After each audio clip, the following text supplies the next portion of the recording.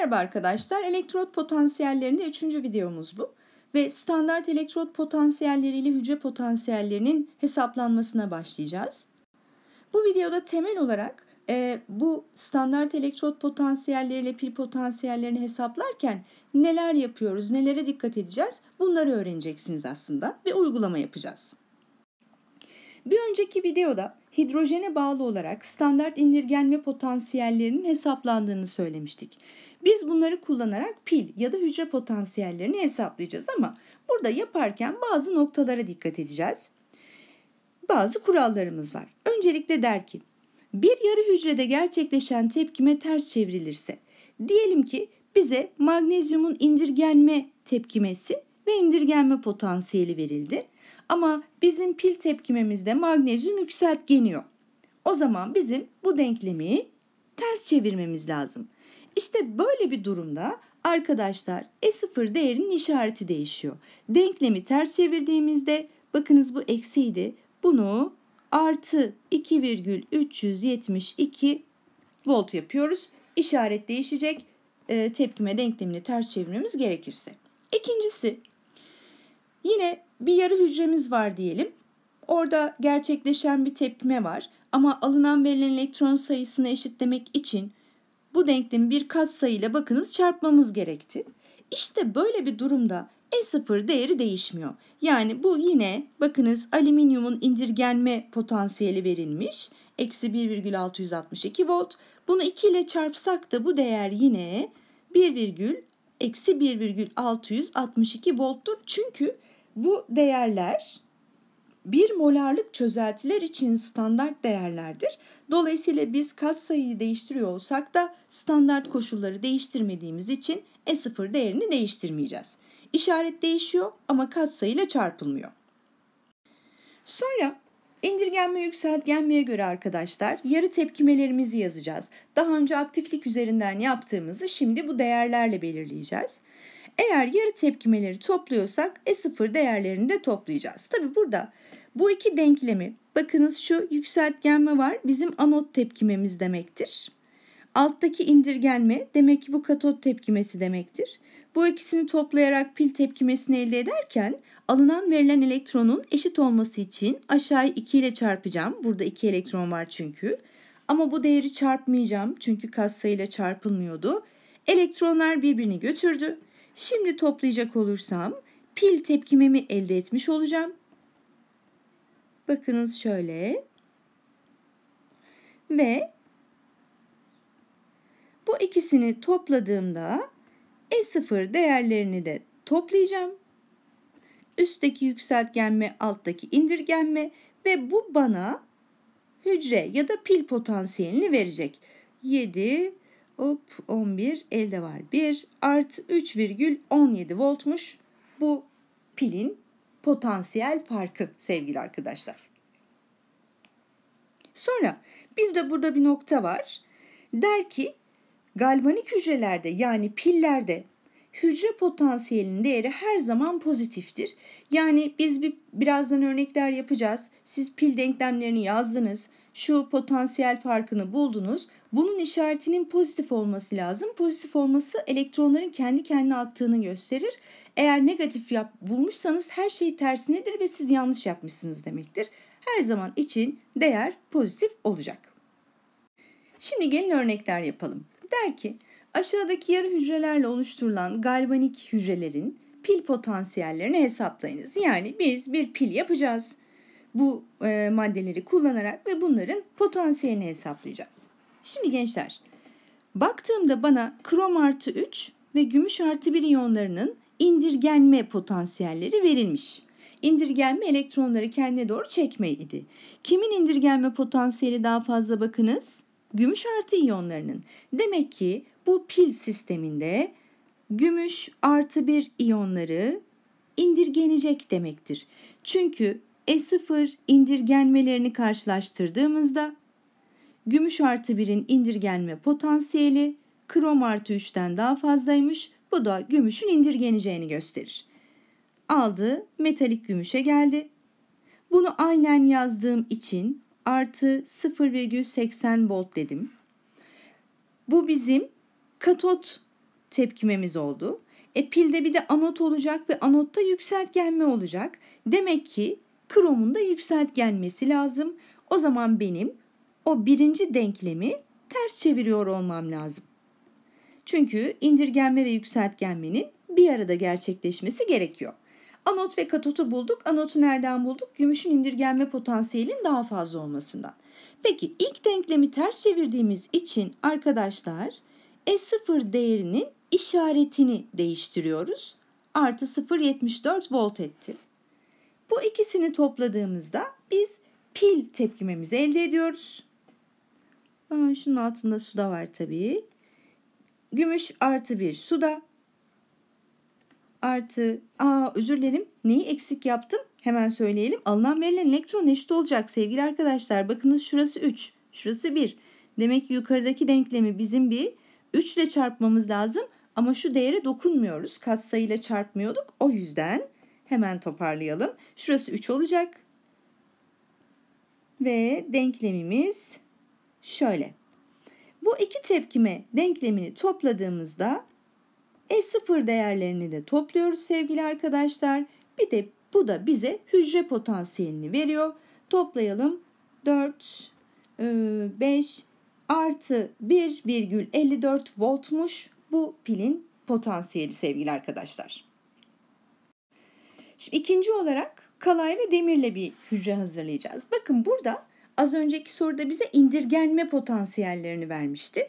Şimdi bu olaylar yükseltgenme potansiyelleri. Fark etmez. Biz bunların standart yükseltgenme potansiyellerini karşılaştırırsak kimin değeri daha büyüktür arkadaşlar? Burada artı ve eksiye e, dikkat ediyoruz. Demirin yükseltgenme potansiyeli kalayın yükseltgenme potansiyelinden daha fazla. Demek ki demirin yükseltgenmesi lazım. Yani yükseltgenme anotta gerçekleştiği için bu pilde demir atomlarının elektron vererek demir artı 2 iyonlarına yükseltgenmesi gerçekleşecek. İkinci denklemi aynen yazdığım için E0 değerini de aynen yazdım. E şimdi burada yükseltgenme varsa bir diğerinde indirgenme olmalı. O da katot. Demek ki ilk denklemi ters çevirmemiz gerekiyor. Kalay artı 2 iyonları elektron alacak ve indirgenecek.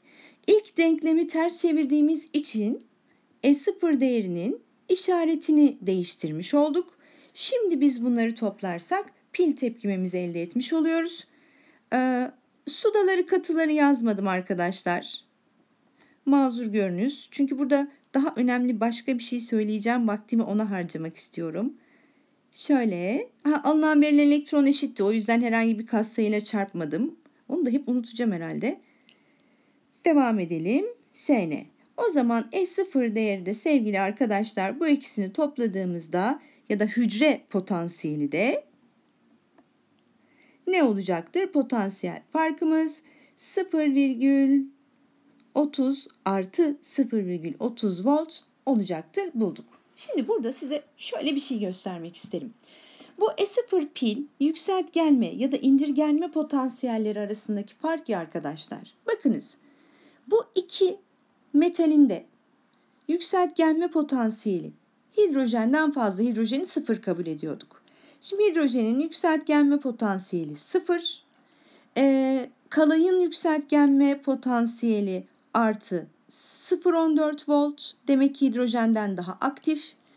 Demirin ise yükseltgenme potansiyeli artı 0,44 volt hidrojenden ve kalaydan aktifmiş. Aslında biz o voltmetrede şu ikisi arasındaki farkı ölçüyoruz. 0,30 volt diye.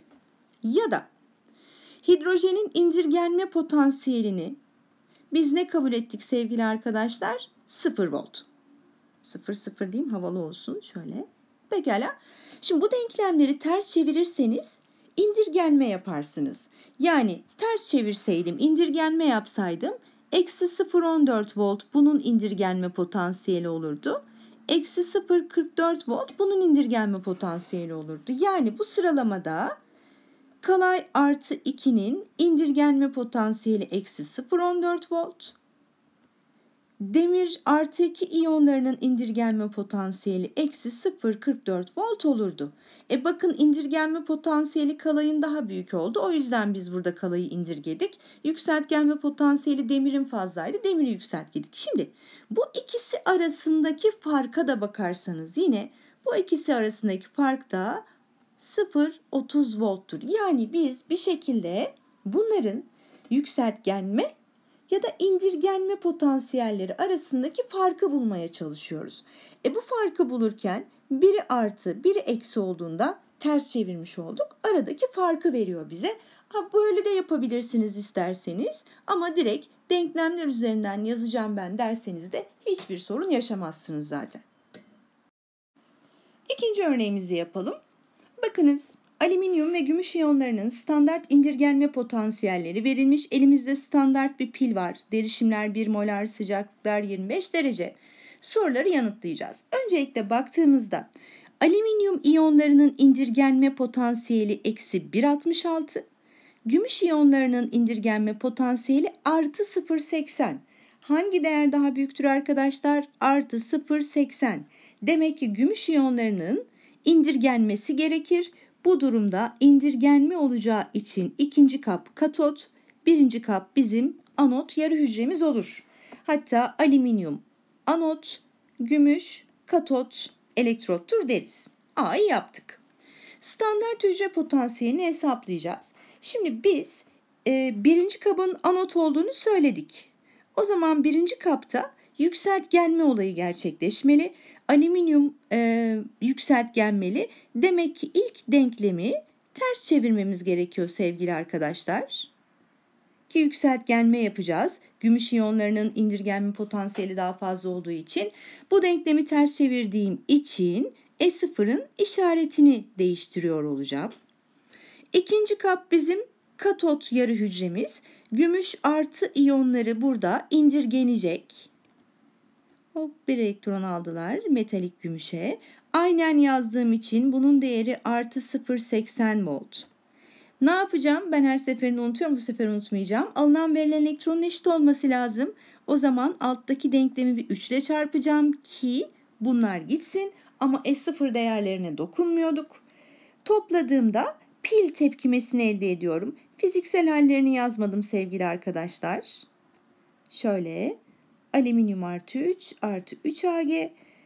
Sonra bu yarı tepkimelerin potansiyellerini topladığımızda da pil potansiyelini elde ediyoruz. 6, 14 e, elde var 1 artı 2,46 voltmuş voltmetreden ölçeceğimiz hücre potansiyeli ya da pil potansiyeli. Elektronlar dış devrede nereden nereye gider? Önceki örneklerimizi hatırlayınız. Elektronlar Anotta elektron verildiği için katotta elektron alındığı için anottan katota hareket ediyordu dış devrede.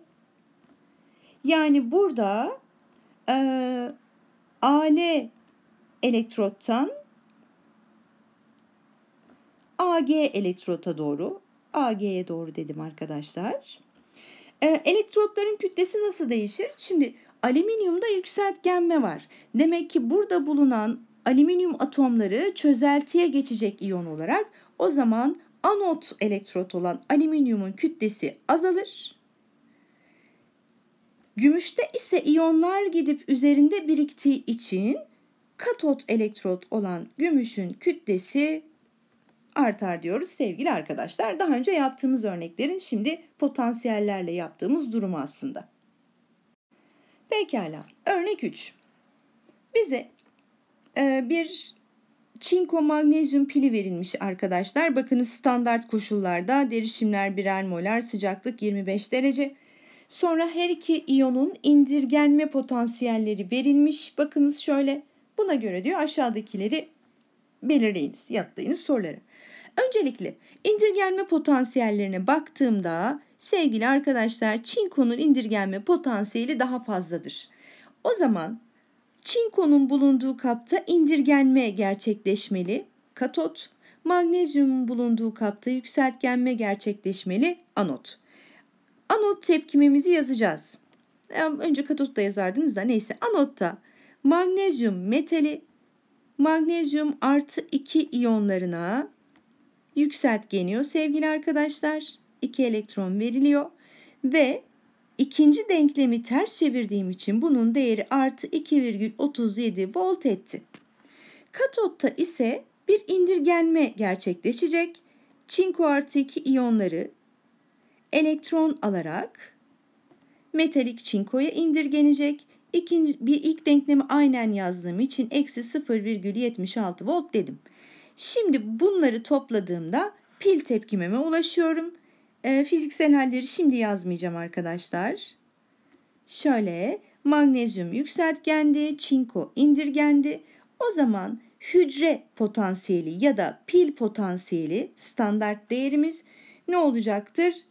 1 e, pop, pop, pop, 7 6 1 virgül artı 1 virgül 61 volt olacakmış. Bunu bulduk.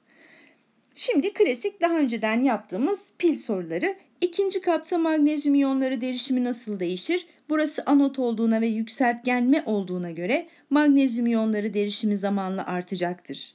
Tuz köprüsünde anyonlar anota hareket ediyordu. E, hangi kap bizim anot kabımız arkadaşlar? İkinci kap. Dolayısıyla ikinci kaba hareket edecek. Oradaki artı yükleri nötrlemesi lazım. Pil şeması dediğimizde şöyle yapıyorduk hatırlarsanız. Yükseltgenme var. Magnezyumdan magnezyum artı 2'ye çift çizgi tuz köprüsünü belirtiyordu. Katotta ise çinko artı 2 iyonları çinko atomlarına indirgeniyor. Hangi elektrot eksi yüklüdür?